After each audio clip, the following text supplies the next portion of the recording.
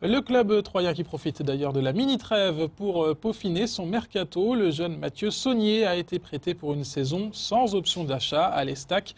Il vient des Girondins de Bordeaux. Mathieu Saunier a 20 ans, il est défenseur central.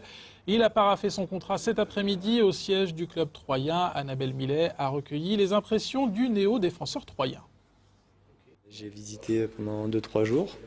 C'était euh, un très beau euh, complexe sportif avec un joli stade et de belles installations. Et il y avait un très bon groupe, donc euh, j'ai bien évidemment choisi de, rejoindre 2-3 pour avoir du temps de jeu et pour pouvoir progresser au maximum. Et Mathieu Saunier portera à l'Estac le numéro 2.